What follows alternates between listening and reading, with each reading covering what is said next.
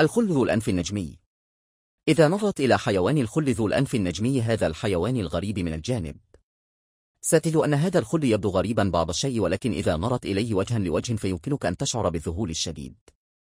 حيث يراه العديد من الأشخاص إنه ذو وجه قبيح فلديه أنف غريب مع 11 زوج من الزوائد على خطم المدهش.